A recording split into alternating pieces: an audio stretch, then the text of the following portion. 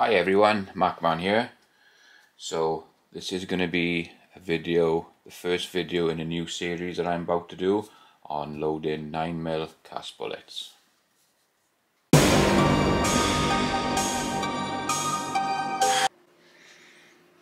Hi everyone, welcome back. So this is going to be part 4 of uh, reloading 9mm with my cast bullets. And hopefully you've been following along in the series. Um, if you haven't you want to go back and check them out because we do the whole process from start to finish over the last three videos and into the fourth one. So don't forget guys if you like like my videos please like share and subscribe. Hit that bell notification and you'll get updated on any new videos that I'm posting. So in this one we're going to go through and seat the bullets and do some crimping and we're going to be checking them as well. And in previous videos you saw we had a problem with the Beretta. We've sorted that out. We've come to a conclusion we had to shorten them right down. Thanks Walter for your help. I really appreciate it. And um, let's go through and do this. So in the previous video you've seen us um, flaring, powder charging and now we're going to go in and we're going to seat these um, these are the RCBS 149 grain, uh, well 147 grain bullets, but they are dropping at 150. These are these are just a little bit heavier than the the 147 they should be. So all you want to do is you want to sit them in there as square as you get them. Slowly bring them up into the seating die. And then we're going to crimp them. As you can see we aren't scuffing. No paint no lead. They're going in perfect now. And we're sitting at a measurement of 1.081 which we set them up earlier at. And we have a case gauge here they drop straight in the case gauge and they're falling straight out. So everything's good. So we'll go we'll check the odd one as we're going through but we can set these up.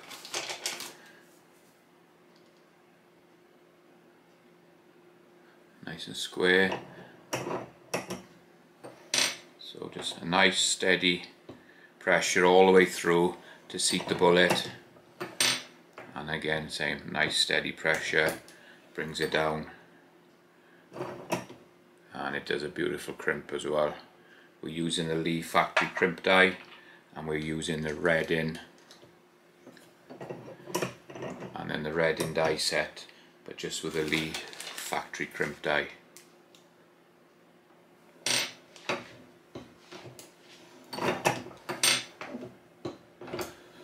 So as you knew in earlier videos guys we are going to be taking these to the range.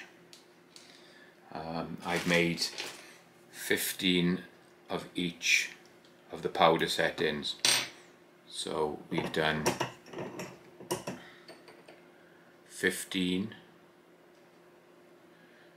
at 3.2 and then we jumped up 0.2 grain, 0.2 of a grain to 3.04 3.4 sorry and then the last one we jumped to 3.7 which we were still under the max for what the, the Lee cast book is giving us.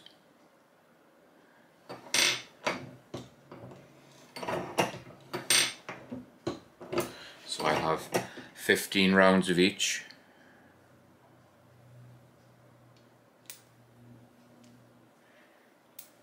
Said originally we probably shoot 7 through each gun but we probably shoot 5 through each gun and I'll take 3 pistols I'll probably take the Beretta that I've been having the issues with, with it, um, with it jamming. So obviously I want to take that one to make sure these are functioning properly in that. Um, I'm probably going to take my Canik Rival All Steel.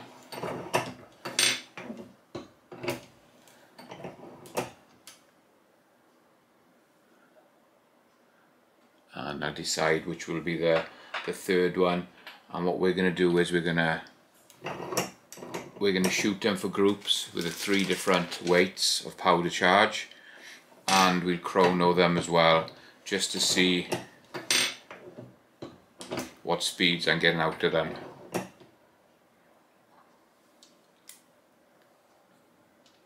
And see how consistent they are. It's always worth checking them guys. You've got a nice case gauge checker. It takes literally seconds to make sure that they're, they're feeding in the case right.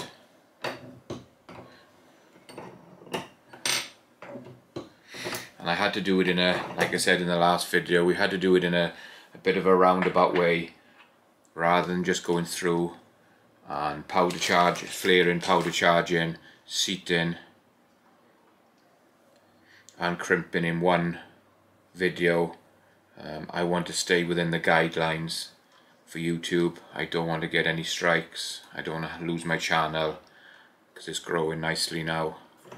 So it's just a matter of staying in within the guidelines. Hopefully what we're doing is they're happy within the guidelines of how we're doing it now. So spreading it over a couple of videos is the safest way to do this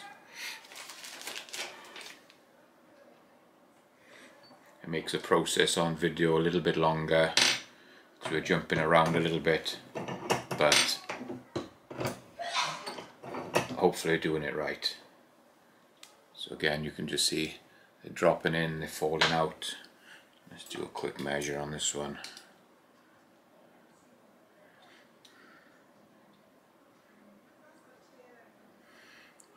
We're at 1.082 so a thou longer on that one than the rest but it might be down to the the front of the nose, the powder coating. So it's just giving us just a, a little bit a little bit more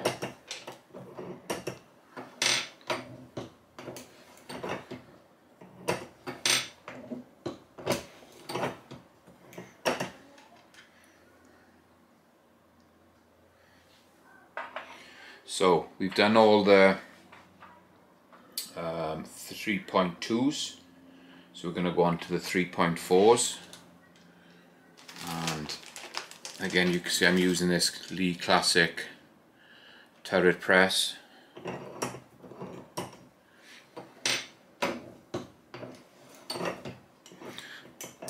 I will be honest with you guys it's it's an okay press um, and as you can see now for doing I've done nothing apart from just turning this by hand just to miss the two stations. And it's it's gone out to timing again which I find quite a bit with this turret press. You can see it's turning but it's not going all the way around so let's see if I can just adjust this back up so the timing is right again.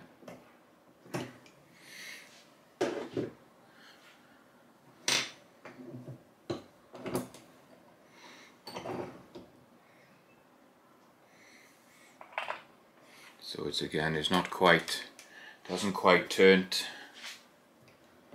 all the way. So you just try and grip the tube turn it just a touch and hopefully then you've got the timing back right there is a lot of plastic that the whole thing turns on here which I'm not a big fan of I saw quite a few reviews on this press and they weren't too bad. That's back in time now. But for the, it's a it's a it's a little cheap press. Um, it does a good job. Don't get me wrong, it does a good job. But the timing going in and out on it bugs me a little bit. But it's uh, it's okay again you can see they're perfect in there they're dropping out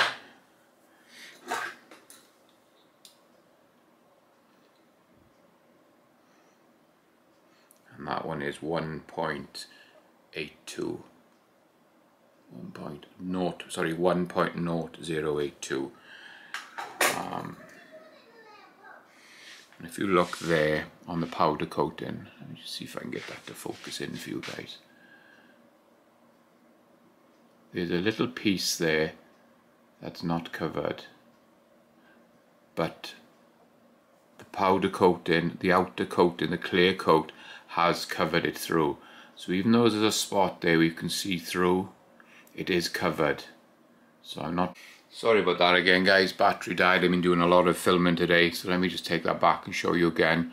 So if you can just look on the front of that bullet, there is a little spot there that does look doesn't look like it's covered in the paint but it has it is it's totally covered with a powder coating so that's not going to be an issue for me I'm not worried about that at all um, it's covered over the lead except it's just a patch of the colour that's not missing. But you can run your finger over it and it's it's covered with a, with like the clear the clear coat of the powder coat.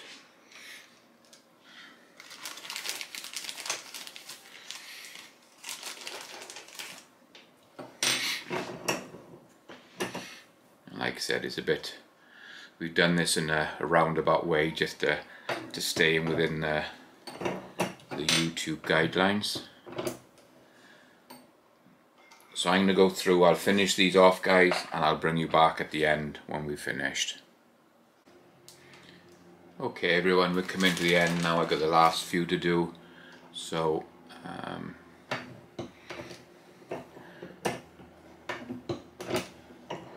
this will be the, the last batch of 15 um, with these RCBS bullets.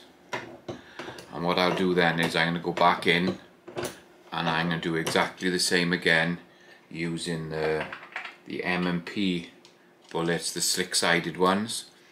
Um, I will run them at the same length. Um, I'll use the same powder charges in them what I've done with these.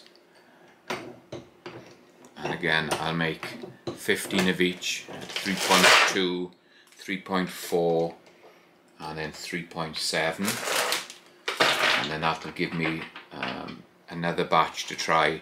So we can try the these RCBS and the M&P slick sided um, which are just slightly lighter. They're coming in these are around um, 149 150s again you can see they're just dropping in and falling out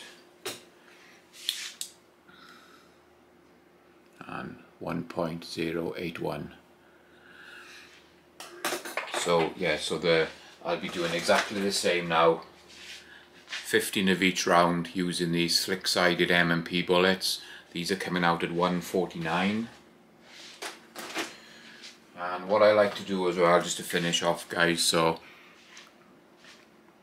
I put RCBS 147 FN cast bullets so I know exactly what mold I've used there's your, your, your unique powder and I put my overall length this is 1.082 and I put a date on as well.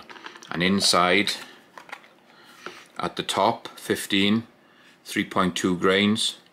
At the top 3.4 grains M for in the middle and 3.7 grains for the bottom row. So I'll put the next lot in the bottom. And I already know the unique um, unique powder. So all this data is going to go into my data book that I keep all records for um, every bullet I make. So once I've been back to the range and we've got the chronograph settings and the group settings that'll be added in. And then I'll decide which powder charge I'm going to go for with these bullets which suit the guns best. And the same I'll do it with a slick sided as well on the on the next batch. I'm going to make another 45 I'm not going to run through that on the video guys so you, you, you can see what I've done here. So there was my there was my last batch that we've just done. So these were the 3.7 grains um, 1.081 length and these are ready to go. So I'll add that to the box and go in and start all over again with the new bullets. So that's the end of this one guys. So the next one um, is probably going to be at the range. Um, it's probably going to be next weekend. I'll get out to the range. We'll do the whole um, group in, chronograph it, see how everything functions and shoots. And that'll be the uh, video number five, I believe. And then the last video, we'll come back to the loading room and we'll go over all the results and we'll see how everything fares out. So I hope you're enjoying this series so far guys. If you are, please like, share and subscribe. Don't forget that bell notification. That'll keep you updated with everything. I really appreciate you watching. Don't forget I got live streams Monday night, 9 Eastern, 6 Arizona time. And we'll catch you on the next.